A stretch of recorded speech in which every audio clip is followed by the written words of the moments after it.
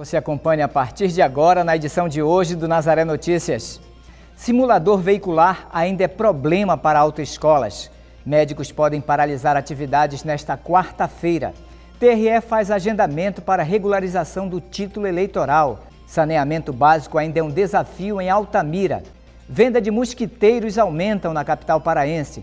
Nadar é uma das práticas mais saudáveis para a melhoria da qualidade de vida. Hoje é terça-feira, 1 de março, e o Nazaré Notícias já está no ar.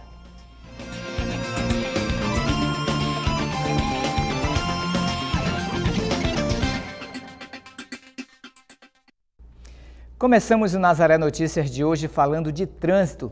Previsto para começar a ser usado a partir do dia 1 de janeiro de 2016, o simulador de direção veicular ainda é um desafio para mais de 100 autoescolas do Pará.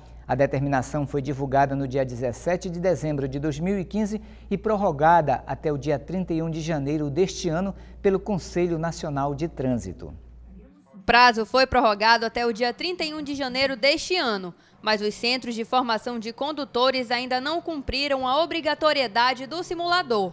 Essa situação não é peculiar do estado do Pará. A implantação dos simuladores, né, que entraria em vigor no Brasil a partir agora de 1 de janeiro, ela sofreu uma problemática em vários Detrans. Dos 27 Detrans, aproximadamente só quatro é, conseguiram implantar, é, digamos, de uma maneira total a questão dos simuladores. Eu cito, por exemplo, o Detran do Paraná. O Detran do Paraná é uma referência nacional né, com relação ao trânsito, ao departamento de trânsito. Então, ele não conseguiu implantar, digamos, implantar em virtude de uma série de problemas com as autoescolas, com o próprio equipamento, né, que é o simulador e não é algo que esteja pronto, né, disponível. As autoescolas fazem pedidos e depois de um tempo ela é entregue, então tem uma demora de 60 até 90 dias para entregar. Laércio e Enilson estão tirando a carteira nacional de habilitação pela primeira vez, ainda no modo antigo, sem o simulador. Para eles, a plataforma não é um fator determinante no processo. Simulador eu acredito que não vai diferenciar muito. Eu acho que a prática no dia a dia, nas ruas, é muito melhor do que num um simulador. Eu acho que não interfere muito. Não é uma, uma coisa determinante. Você tem que se adaptar ao trânsito, né? ao, ao real. Tudo bem, questão talvez educacional possa ajudar, possa auxiliar. Né? Eu acho que pode vir a ser importante, mas não determinante. O simulador de direção veicular é um auxílio na formação de um bom condutor no trânsito. O simulador, ele é uma situação, ele é muito parecido, né, falando de uma maneira bem simples, muito parecido com um videogame, né, uma espécie de, como o nome diz, ele é um simulador. A pessoa simula situações de trânsito, né, chuva, noite, é colocada, em vez da pessoa, digamos, ir diretamente para a via com o seu veículo, ele é colocado ali como se fosse um teste, né, ele é muito similar a um veículo e é, é uma tecnologia muito similar também dos pilotos de avião. Eles fazem esse tipo de treinamento antes de pegar realmente um avião. Então foi baseado nessa tecnologia para quê? Para dar tempo tempo né, para a pessoa treinar situações que ela vai ter no dia a dia. Digamos, um cachorro que corre na rua, um sinal fechado, é, tempo de um ônibus que para na frente dele. Então, esse simulador, como o próprio nome diz, ele simula situações do dia a dia para quê? Para que a pessoa, ao pegar realmente o volante, ela se sinta mais preparada. Talvez a população entenda desnecessário, né? mas assim, se nós vamos comparar a questão dos aviões, que tem esse mesmo treinamento já há muitos anos, né? realmente eu acho que pode ser é, é bem eficaz para tentarmos melhorar a qualidade desses motoristas. Segundo o Detran Pará, o prazo será prorrogado e o condutor não terá prejuízos na hora da retirada da carteira. Baseado nisso, né, o Pará, né, junto com as autoescolas é, do Estado do Pará, o sindicato, nós vamos pedir uma prorrogação no Estado do Pará para o Departamento Nacional, mas vamos apresentar um cronograma de implantação para que não fique, digamos, uma simples prorrogação sem ter, digamos, um prazo a cumprir aquelas pessoas que vão iniciar um processo de primeira habilitação e com essa dificuldade do, do simulador, elas podem seguir seu processo. Até então, é, o Denatran está aguardando o posicionamento dos Detrans para aí sim poder cobrar de uma maneira mais incisiva a questão da implantação. Mas uma coisa é certa, o Departamento Nacional já determinou que irá realmente colocar em funcionamento. Então, por isso, os demais Detrans do Brasil, assim como o nosso, o Pará, temos que nos adequar à normativa. As orientações é que os trabalhos sejam mantidos até segunda ordem ou quando a prorrogação for liberada. A questão dos simuladores, né, nós estamos aguardando né, os usuários que querem tirar, as pessoas candidatos a tirar a de habilitação, que elas sigam o seu processo normalmente, que não haverá até então nenhum tipo de prejuízo. E as autoescolas, nós estamos realmente é, junto com elas aguardando esse posicionamento, mas não queremos deixar é, gerar nenhum tipo de prejuízo para os é, candidatos à primeira habilitação no estado do Pará. E agora vamos falar de paralisação. A greve dos servidores municipais da educação chegou ao sexto dia em Guajaramiri, município situado a cerca de 330 quilômetros de Porto Velho. Cerca de 4.500 alunos estão sem aula no município e, segundo a diretoria regional do Sindicato dos Trabalhadores em Educação no estado de Rondônia, a paralisação iniciou no último dia 16. E ainda falando de paralisação, o Sindicato dos Médicos do Pará sinalizou a possibilidade de uma paralisação no próximo dia 3. A categoria reivindica a melhoria na estrutura de atendimento e reajustes salariais. Caroline Guimarães tem mais informações. Uma assembleia realizada hoje discutirá a ação do dia 25 de fevereiro e também as reivindicações dos médicos. E para falar sobre esse assunto está aqui ao meu lado o Dr. João Gouveia, ele que é diretor administrativo do Sindmap. Muito obrigada, diretor, por conversar conosco. É a audiência, a assembleia de hoje vai discutir o que especificamente? Nós vamos fazer uma avaliação da paralisação que ocorreu no dia 25, é, ocorreram vários episódios, inclusive um episódio que os colegas fizeram um boletim de ocorrência de um aparelho, de um carrinho de anestesia que teria sido tirado do posto de socorro do Guamá para a inauguração da 14, e que foi motivo, inclusive, de um boletim de ocorrência, foi motivo de denúncia ao Ministério Público do Estado também, que vai apurar. Nós vamos avaliar tudo isso e vamos organizar o movimento de hoje, de, de, de amanhã, aliás, porque a, a Assembleia é hoje, que a paralisação volta amanhã, fazendo triagem, atendendo os casos graves, que é exatamente, exatamente do perfil do hospital. Porque o, as unidades de saúde elas deveriam estar atendendo esses casos de menor gravidade. Infelizmente, não tem resolutividade, acaba todo mundo procurando ponto-socorro, isso fazendo uma superlotação. Por que não tem resolutividade nos casos mais simples, nos pronto-socorros? Olha, eu acho que começa pela atenção básica, porque as unidades de saúde básicas elas deveriam estar atendendo aquelas pequenas consultas, inclusive através do Estratégia de Saúde da Família. E está muito desestruturado o sistema de saúde no município de Belém. Eles também reclamam muito que há uma procura dos municípios próximos a Belém, que acaba enchendo também o atendimento.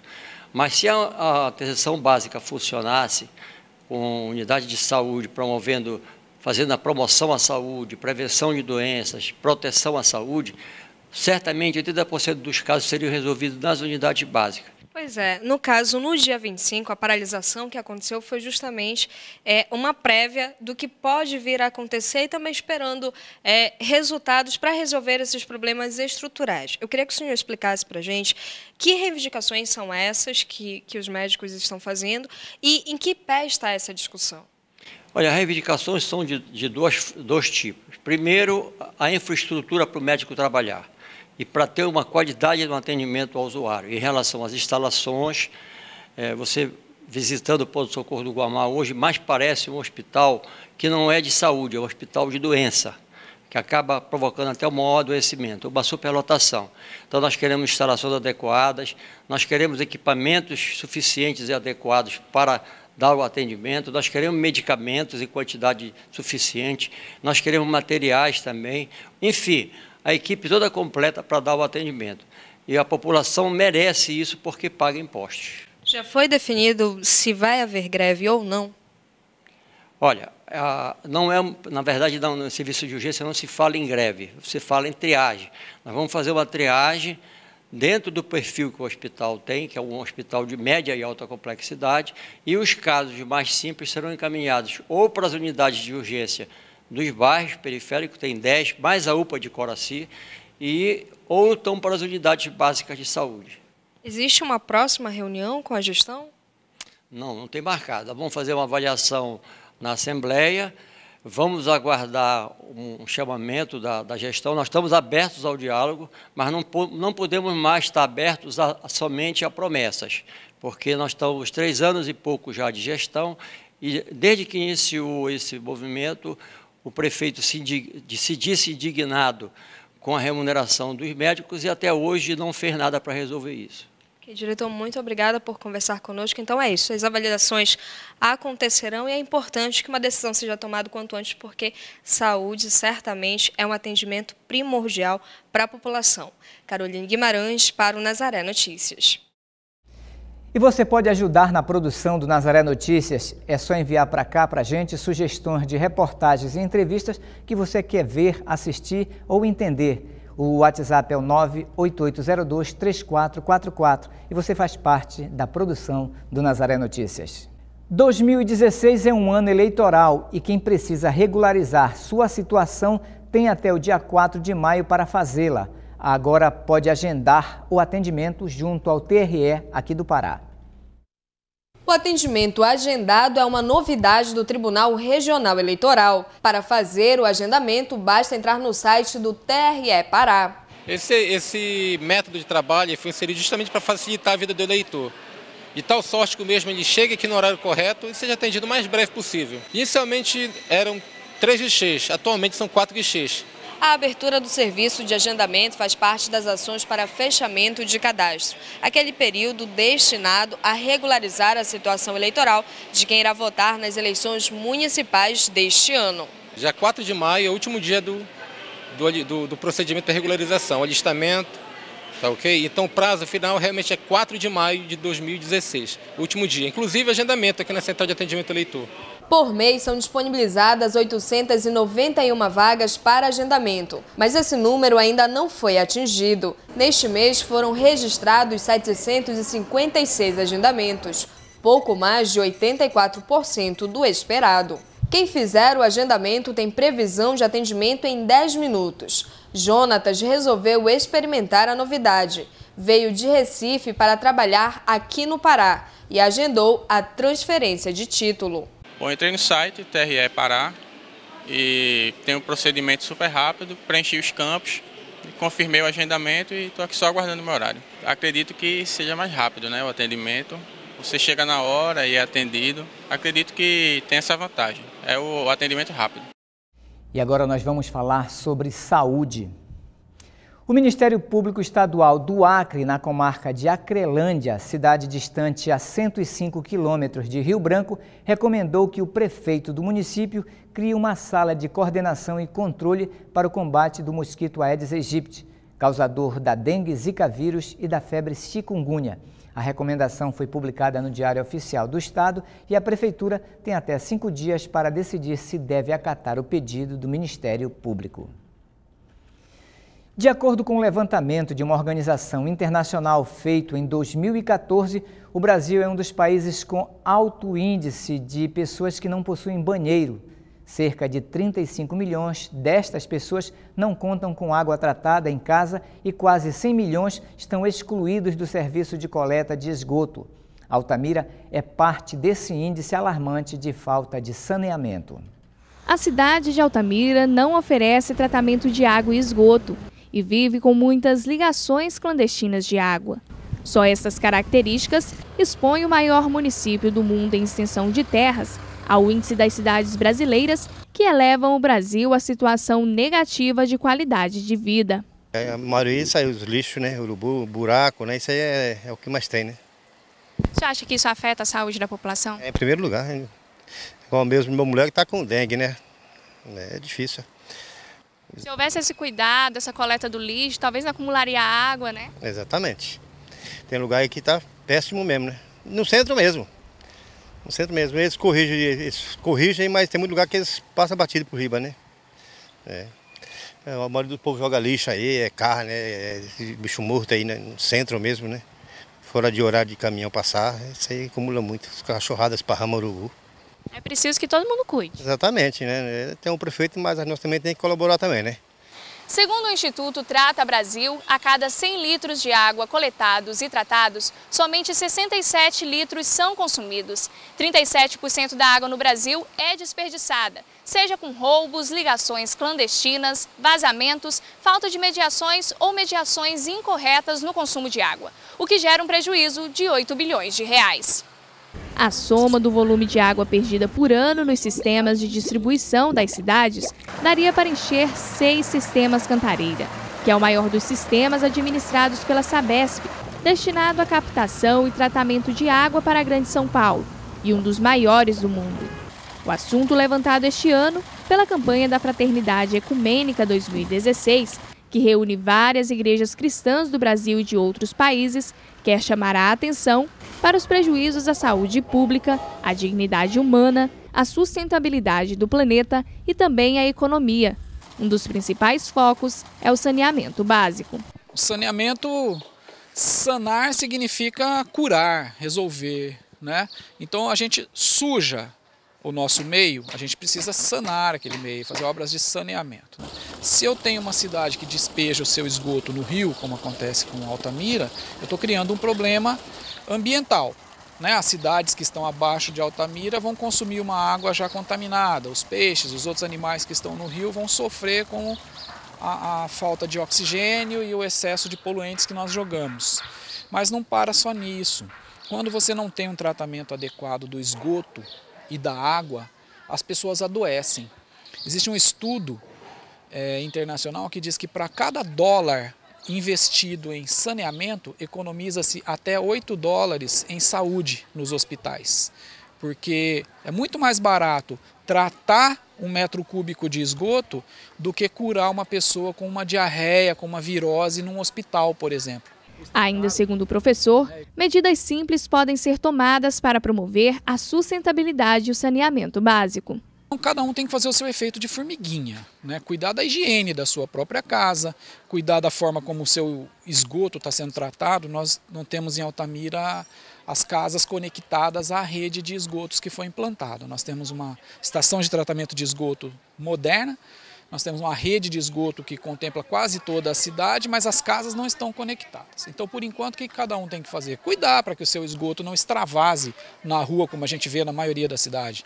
Evitar um pouco a produção de lixo, né? colocar seu lixo na rua no horário certo, tentar separar o seu lixo. Já tem um embrião em Altamira de empresas que trabalham com materiais recicláveis. Então, o que for reciclável, separar, né? É, evitar colocar certos itens no lixo, por exemplo, restos de alimento, dá para tratar em casa, fazer uma compostagem, tratar de um animal, né, diminuir um pouco, né?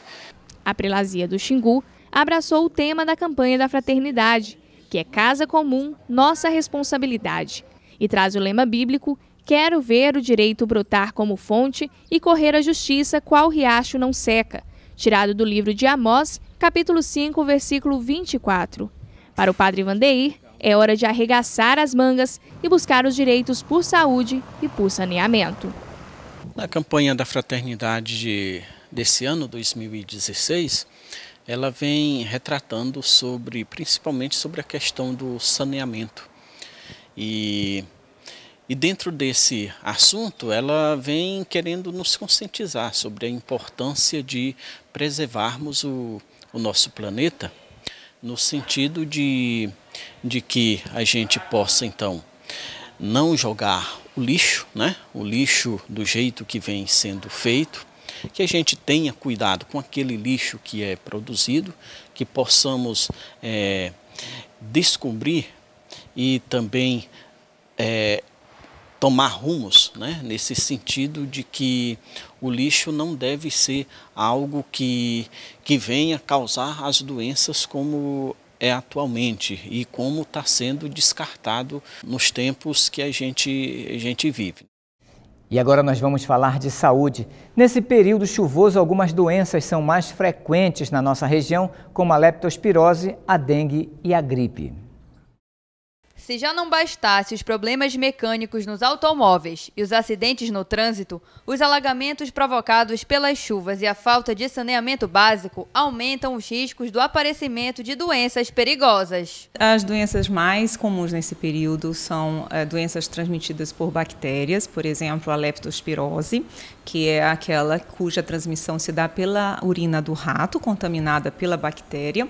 As doenças gastrointestinais são as nossas diarreias infecciosas, que, por exemplo, as crianças têm mais chance de adquiri-las. Uh, nós temos casos de hepatite A, temos uh, as doenças chamadas vetoriais, né, que são aquelas transmitidas pelo mosquito, o Aedes aegypti. Então, dengue aumenta o número de casos na época das chuvas pela água parada e hoje nós temos que lembrar o Zika vírus, por exemplo, que nós estamos em plena eh, epidemia. A principal forma de prevenção é evitar ao máximo o contato com água contaminada, pois é lá que se encontram os vírus e as bactérias. O primeiro cuidado básico é evitar o contato, a exposição direta a, a terrenos alagados, a poças de água, mas às vezes isso é inevitável. Então, o que, que nós temos que é, observar? De preferência, usar aquelas pessoas que precisam se deslocar é, botas de borracha ou colocar sacos plásticos para poder é, transportar, fazer transporte ali naquela área que está muito alagada é, fazer com que nas enchentes em que há, as casas são invadidas, nós temos que limpar imediatamente esse ambiente utilizando água, uh, mais água sanitária, numa proporção de um litro, com uma colher de água sanitária, por exemplo, que isso facilmente as pessoas podem fazer. Nesse período, fundamental não deixar uh, lixo, resíduo, amostra, solto, então sempre acondicionado em sacos plásticos fechados. E uh, ao menor sinal, ao, ao, início de um sinal de infecção, que normalmente essas doenças elas se caracterizam geralmente com febre, dor no corpo, mialgia, e vem, pode vir as diarreias, levar ou ir até uma unidade básica de saúde ou a um ambulatório. As crianças também estão suscetíveis ao acometimento dessas doenças por conta da alta exposição nos ambientes alagados e por conta da vulnerabilidade do sistema imunológico. Por isso, todo cuidado tem que ser redobrado.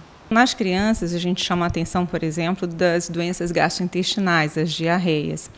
É, elas devem ser sempre orientadas pelos pais, hum, né, evitar aqueles banhos que são é, muito atrativos de, de poças de água parada após a chuva, né, próximos a córregos de rios. Então, evitar entrar nessas águas que elas podem ingerir água uh, inadvertidamente.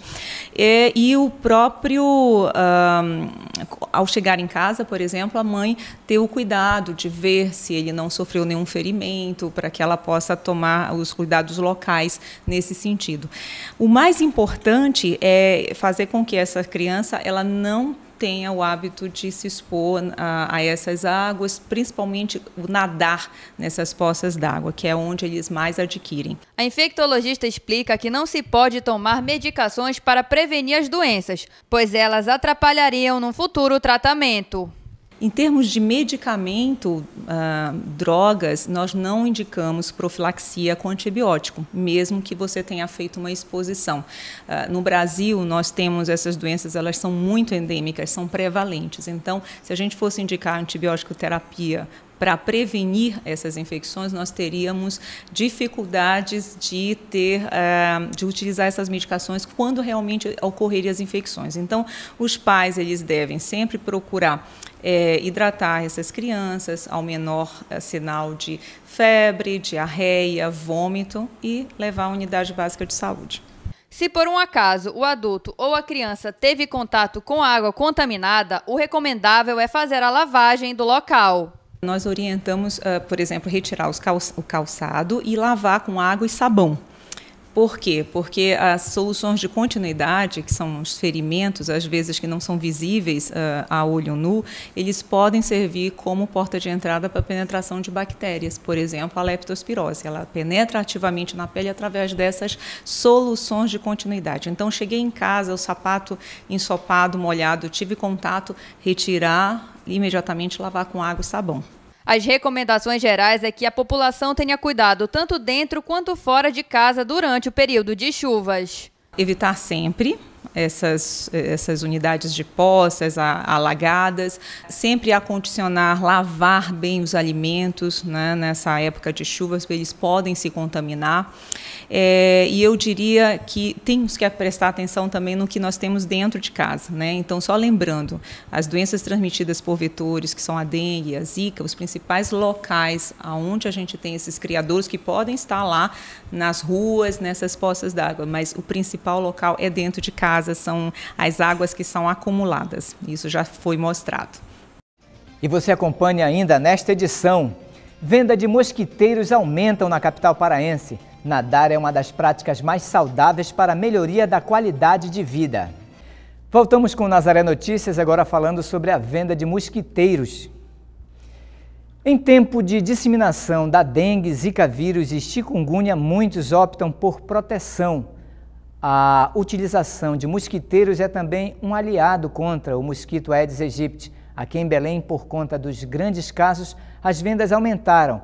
Em algumas lojas do Centro Comercial de Belém, o aumento foi de 100%.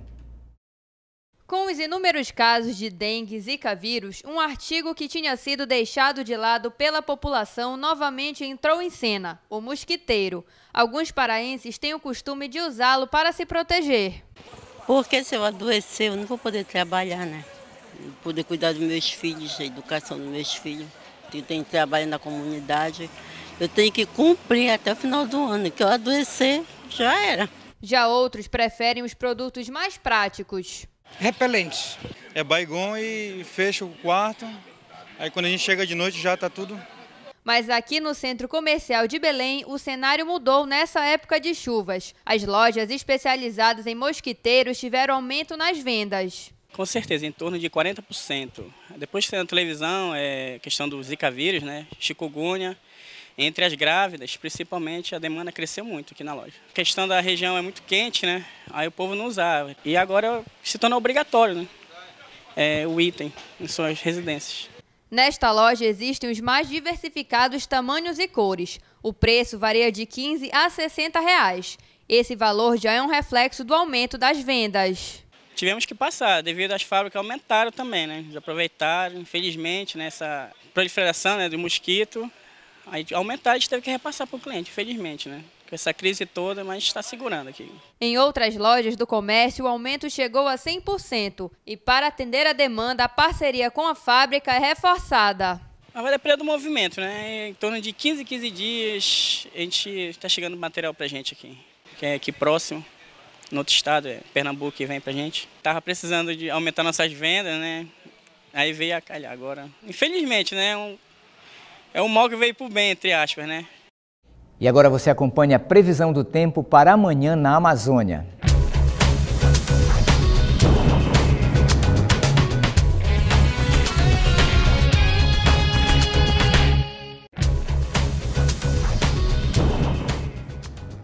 Em Belém, a previsão é de tempo fechado com pancadas de chuva durante o dia. A temperatura mínima chega aos 23 graus com a máxima de 33. No município de Tucuruí, sudeste paraense, o tempo deve ficar encoberto, mas com possibilidades de chuva fraca. A temperatura mínima deve chegar aos 25 graus e a máxima aos 29. Em Lábrea, município do Amazonas, o sol aparece entre nuvens, mas também com a possibilidade de chuva fraca. A temperatura mínima chega aos 26 graus com a máxima de 30.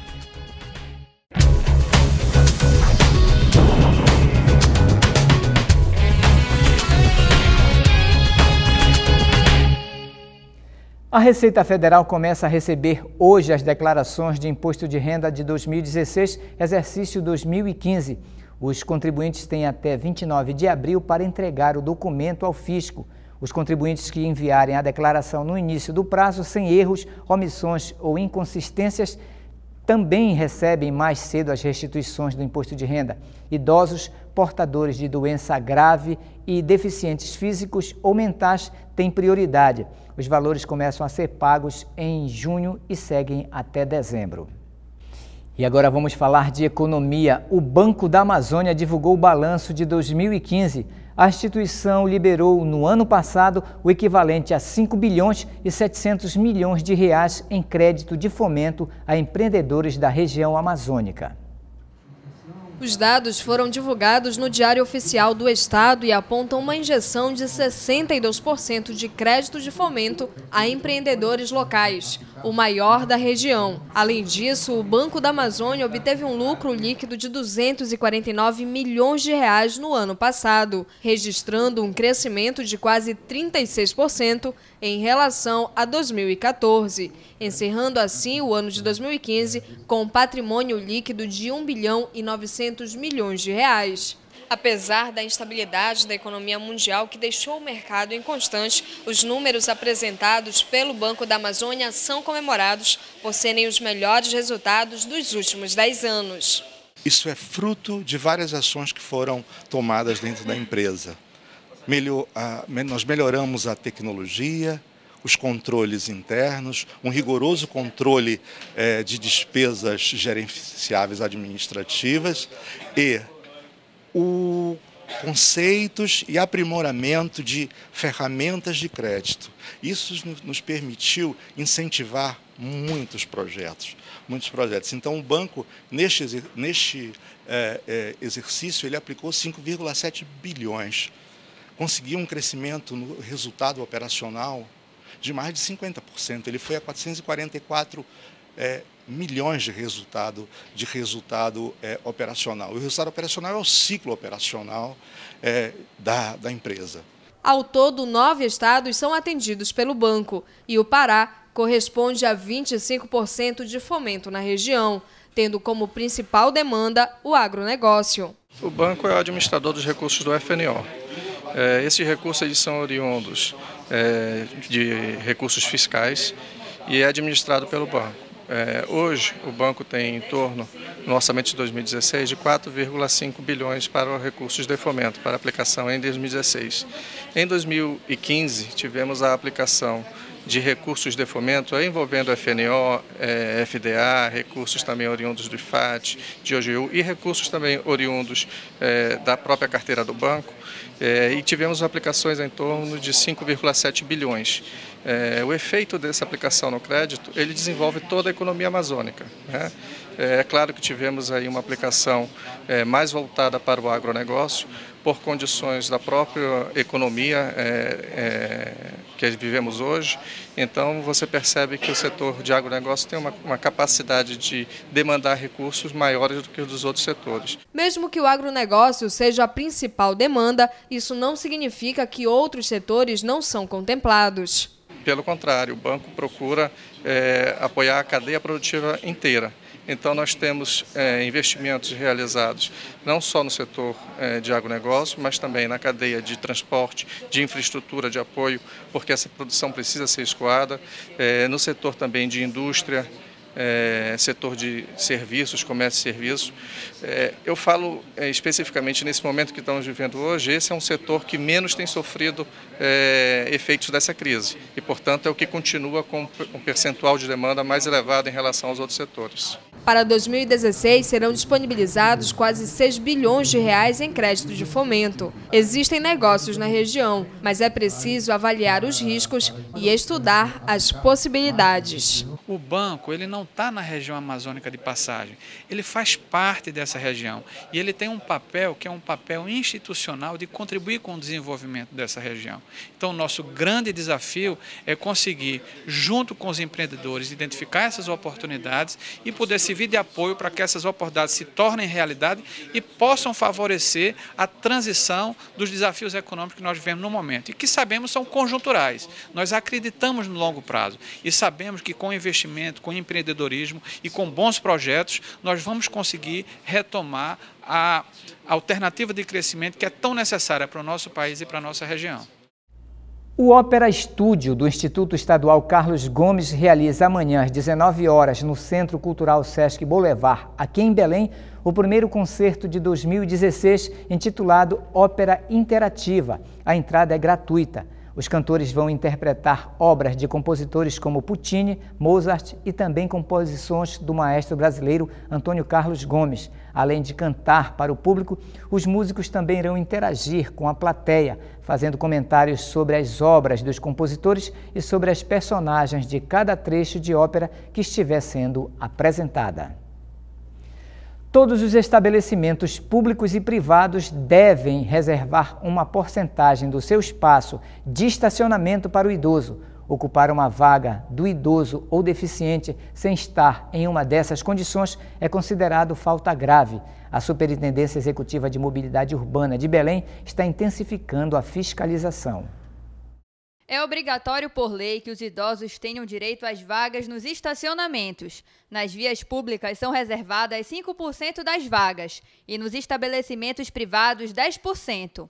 É, o estacionamento privado eles reservam, tem que ter uma, uma placa diferenciada com o valor da, da, da notificação, a penalidade tudo na placa orientando que aquele condutor que estacionar naquela vaga, ele pode ser notificado. E aí acionar o órgão competente, no caso a CEMOB, para que com a fiscalização vá lá naquele empreendimento e notifique esse cidadão. A Superintendência Executiva de Mobilidade Urbana intensifica a fiscalização.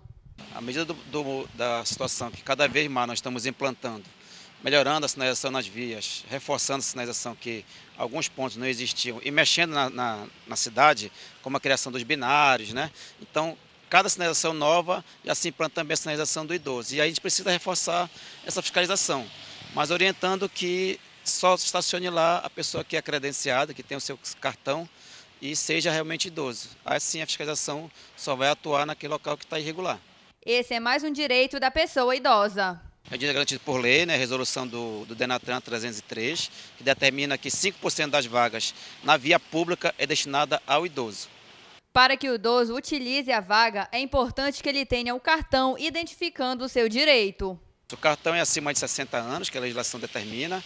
Vá no prédio da CEMOB, na Governador Zé Malché, entre Castelo Branco e 14 de Abril, né, ao lado do supermercado que tem lá. Você leva os seus documentos e aí vai receber o cartão. Ele é colocado no painel do veículo. No momento que você vai estacionar, coloca no painel. A fiscalização vai passar, vai verificar o veículo. Se tiver o documento o certificado no painel, está tranquilo. Se não tiver, aí o agente cumpre o papel dele de, de fiscalizar, que é notificar o condutor que está errado.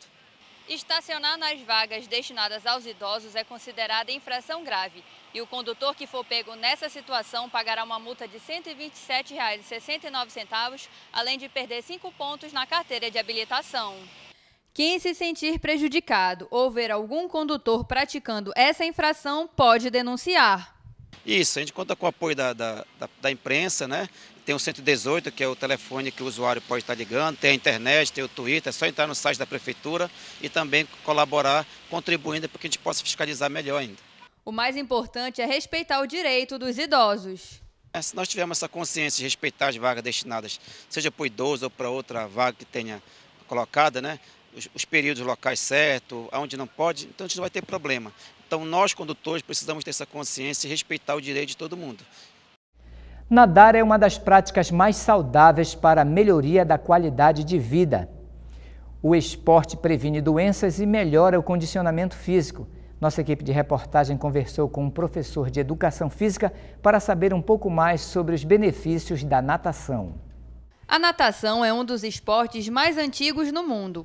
A prática constante traz benefícios à saúde, como condicionamento físico e muscular. De cara, eu posso dizer que ela trabalha um condicionamento físico global, em geral. Ela trabalha grandes grupos musculares, ela melhora o tônus muscular, que dá reflexo direto depois em aptidão cardiorrespiratória, porque é uma atividade aeróbia, o que vai proporcionar um melhor sono, a pessoa vai se sentir mais disposta, ela atua direto no bem-estar físico da pessoa. Outro benefício da natação é que a modalidade previne doenças. Fraqueza muscular, cansaço, pode melhorar a condição, como eu disse, global, diminui chances de diabetes, o que vai favorecer o organismo sistêmico a funcionar, diminui doenças coronarianas, trabalha de uma maneira global geral. Francisco sofreu um acidente de moto e usa a natação para se recuperar. Bem, a natação eu voltei a fazer pela questão do preparo físico, né, e até uma questão do, do condicionamento do meu pé, que anteriormente sofri um acidente de moto. Fiz a fisioterapia, mas eu optei pela natação porque eu movimento bastante. É o tempo que eu estou de benefício, então fico praticando a natação, né? além do condicionamento físico. Tem pessoas que fazem a natação apenas por apreciar o esporte. Eu sempre gostei de praticar atividade física, para mim foi sempre proveitoso. Eu sempre busquei assim modalidades, esportes que, que eu gosto. Então a natação, ela traz um benefício muito grande para a nossa vida, né? Assim visando condicionamento cardiorrespiratório, ou seja, melhora muito. Eu sempre gostei de praticar, eu sempre gostei de água. Então, por isso que eu optei da natação. A natação pode ser praticada por qualquer pessoa e não há contraindicação. Qualquer pessoa pode praticar. O que a gente faz antes é uma avaliação funcional, inclusive para saber o estágio que esse paciente, no caso, vai ter, para poder virar um aluno em potencial. O professor explica que o recomendável é nadar até onde o organismo permitir. De início e controlando o ímpeto, tá? É uma atividade muito relaxante, o meio aquático ele é muito prazeroso, mas tem que às vezes dar uma segurada para não exagerar e ter o que a gente chama de overtraining. O ideal é nadar o que o seu organismo aguenta de acordo com o seu nível de treinamento. De acordo com a Organização Mundial da Saúde, é importante dedicar 150 minutos na semana com exercícios físicos. E a natação é um dos esportes que promove a melhoria da qualidade de vida. Só vem a melhorar. Eu posso até vender a natação como cura de tudo. Agora tem que vir fazer, como toda atividade física tem que ser controlada. É recomendado para qualquer um, dependendo da sua condição inicial.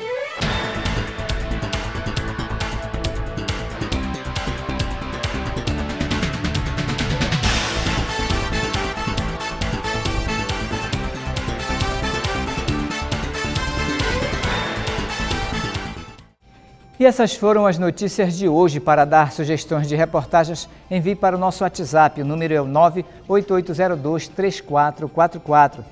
Se você quiser rever nossas reportagens, acesse o portal Nazaré, www.fundacionazaré.com.br ou acesse a nossa página no Facebook. Nazaré Notícias fica por aqui, nos encontraremos amanhã na próxima edição. Até lá!